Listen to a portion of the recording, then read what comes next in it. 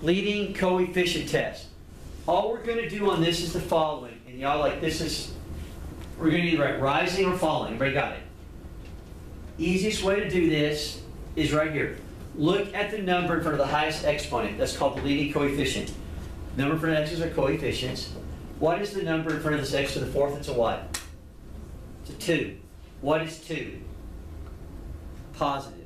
So think about it. On the right side of your graph, all the x's are positive, and so if that number is a positive, then that means everything's positive. And so if all the numbers are positive, on the right side, your graph's going to what? Rise. So always do the right side first, because the right side will always do whatever that is. If it's positive, it's going to rise, and if it's negative, it's going to what? Fall. That's it. And then the left side will be determined by the exponent.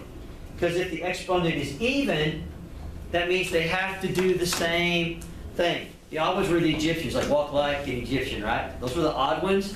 The even ones do the same, like the referee. So if this one's going, so this is even, that means it has to be the same. So if the right side's rising, what's the left side have to do? It also has to rise. It also has to rise. So that's what it's going to do. Okay? As I look at number nine, notice, still do the same thing. What's the number in front of x to the 5? It's a 1, and what is 1? Is it positive or negative? Positive. Positive. So guess what the right side has to do? Rise. The right side rises. Now I'm going to look at the exponent on the highest one. These don't matter at all, got it? They don't matter at all. What is the exponent here? Odd. Odd. Well, if it's odd, that means the opposite. And the reason here, like I said, on the right side, if those are all positive and that's positive, it's going to rise. But what happens now if there's an odd number of negatives? That means you're, in times of positive means the answer will be what? Negative. That's why it's going to then be the opposite. So, because it's odd, it's different, and the left side's going to fall. The left side's going to fall because it, the exponent said they had to be what? Different. And then the last one, notice it doesn't have to be the first number. My leading coefficient is this number back here. So what would be the number in front of it? It's not positive one, but what? So this time, if it's negative, think about it. If all these x's are positive, multiplied by that one negative, it's going to make all the right side what? Fall.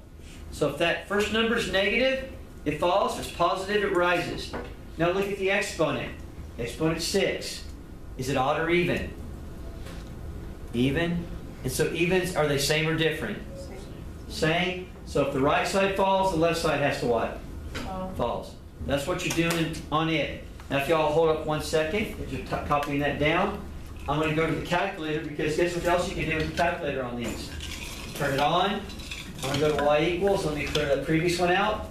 And y'all, if I do 1 minus x to the sixth power, and I hit graph, what are, what's the left and right side both doing on this? You can also do it that way. You can graph it and just look to see what they're what, whether they're what, rising or falling. Those are the easiest ways to do that on those problems right there, okay?